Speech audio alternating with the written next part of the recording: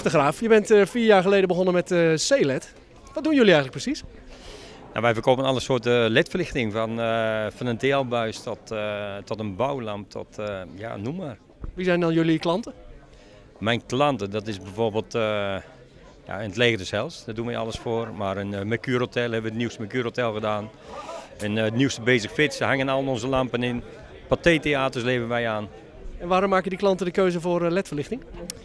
Energiezuinig, duurzaam, volledig recyclebaar. Maar vooral energiezuinig scheelt ze heel veel in de portemonnee. Oké, okay, LED is dus gewoon een bewuste en goede keuze. Een bewuste en goede keuze. Ik, uh, ja, ik raad iedereen aan, stap over op LED. Nou, uh, kijk ik uh, achter jou en dan zie ik de LED-verlichting op de LED-boarding staan. daar waren we als IJsselmeervogels volgens mij een van de eerste amateurclubs mee, of niet? De eerste en nog steeds de enige amateurclub. Ik ben momenteel met een aantal clubs in gesprek. Ik ben ook bezig met alle Jupiler clubs ben ik in gesprek voor eh, ledboarding te leveren. Maar qua amateurs zijn we nog steeds eh, de eerste en de enigste. Deze amateurclub speelt binnenkort een mooie wedstrijd tegen, nou, wat mij betreft, eh, de mooiste betaalde club van Nederland.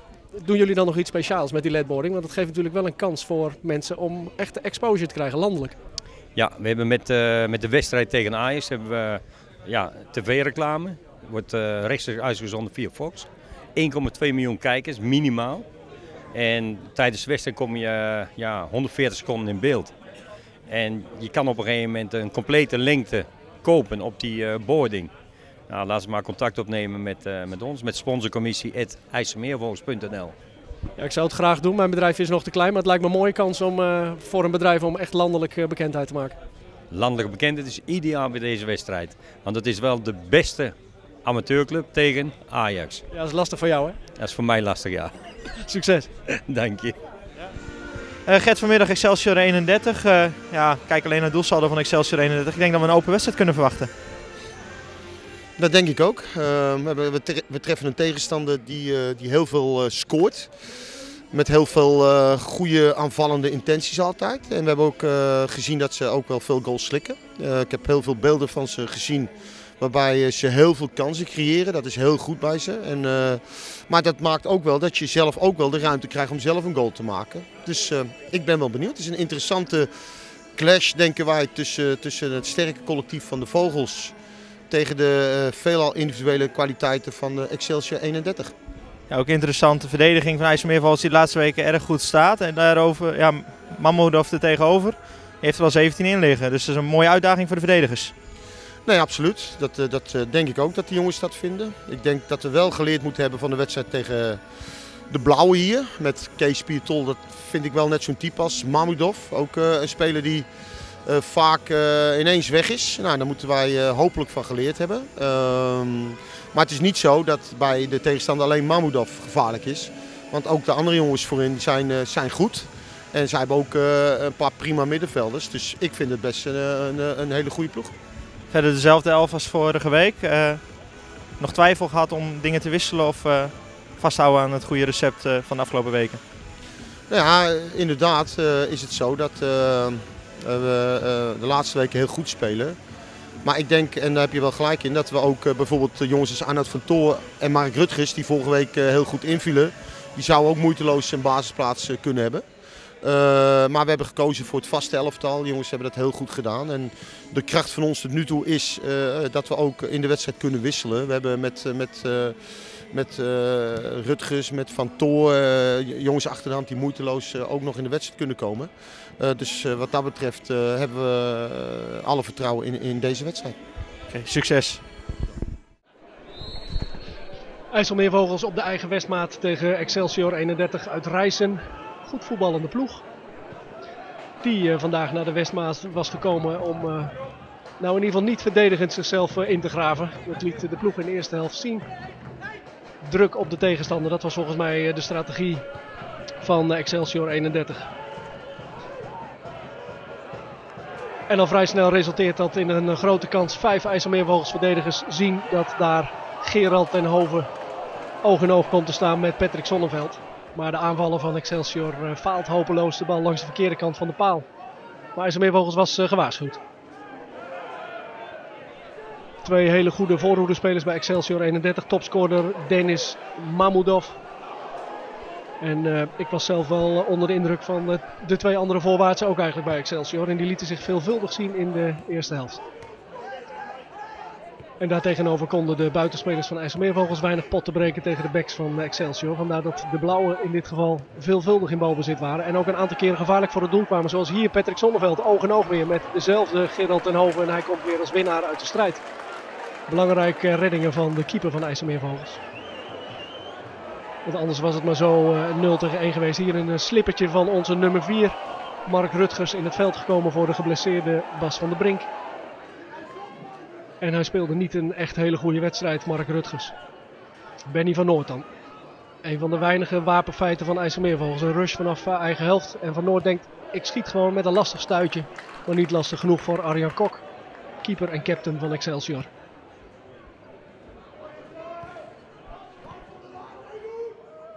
Soms vrolijk combinerend dat Excelsior 31 zoals hier.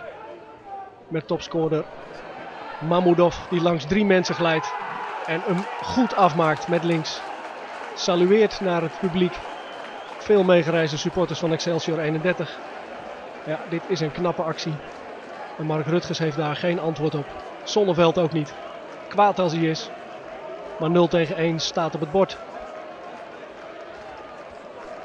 Vervelend moment ook om uh, een doelpunt tegen te krijgen net voor rust. Wel veel blessuretijd uh, erbij getrokken door scheidsrechter Roeleveld. Veelvuldig aanwezig. En niet altijd op de meest goede manier in deze wedstrijd. Maar er waren veel blessures.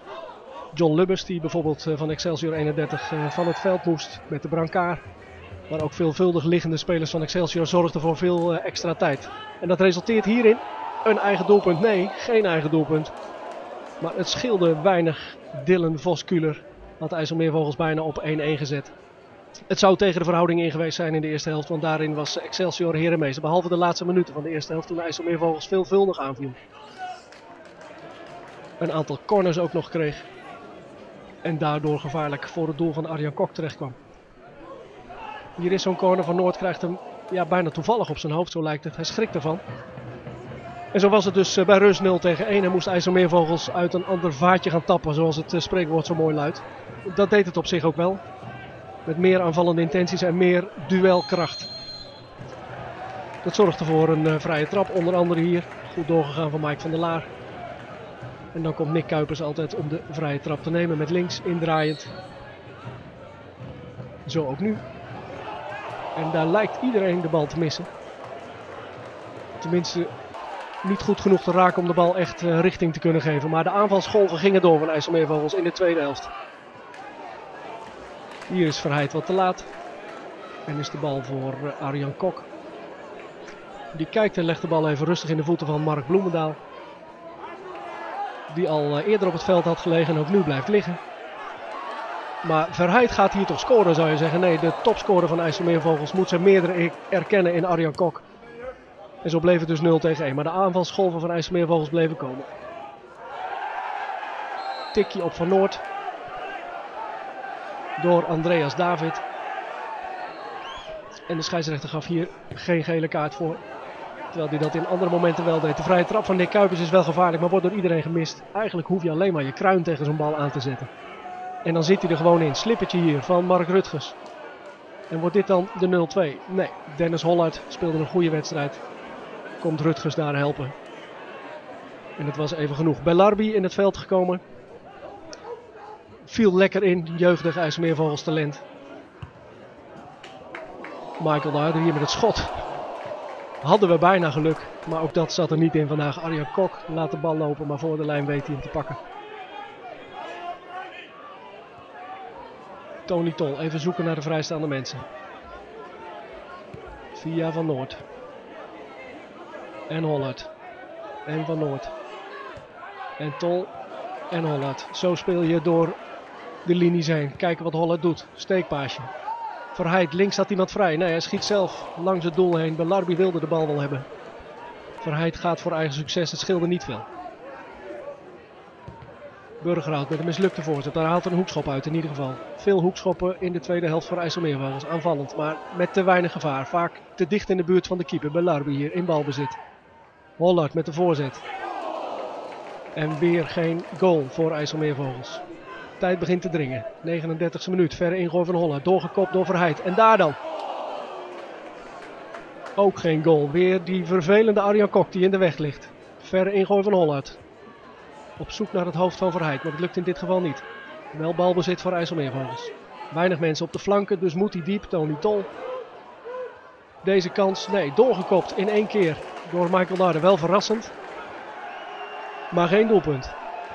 Blessuretijd. Vier minuten zou scheidsrechter Roeleveld er in de tweede helft bijtellen. En IJsselmeervogels had haast. Zoals eigenlijk de hele tweede helft natuurlijk. Het werd pompen of verzuipen. Met weer een voorzet vanaf links. En gekopt door Verheid. Maar langs de verkeerde kant van de paal. En lat. Bleef dus 0 tegen 1. 47e, 48e minuut. Voorzet weer vanaf rechts nu. Weggekopt. Bellarby houdt het overzicht. En schiet nu zelf. Goede schotpoging. Maar stijlvol gepakt door Arjan Kok. En zo tikte de seconde weg. En voelde je dat het steeds moeilijker werd om te gaan winnen. Dat voelt ook Tony Tol. Die hier volgens mij de tenen van een van de spelers op de bank test. En dat wordt niet in dank aanvaard door de bank van Excelsior 31. Hier staat Roeleveld op 80 meter te kijken. Ziet eigenlijk niet wat er gebeurt. Terwijl hij bij andere situaties erbovenop stond en de bal 1 meter naar achter wilde leggen. Als iemand de vrije trap wilde nemen. Zoals ik al zei, niet altijd even mooi in beeld de scheidsrechter van uh, vanmiddag. IJsselmeervogels met de laatste kans. 49e minuut, weer naar voren toe.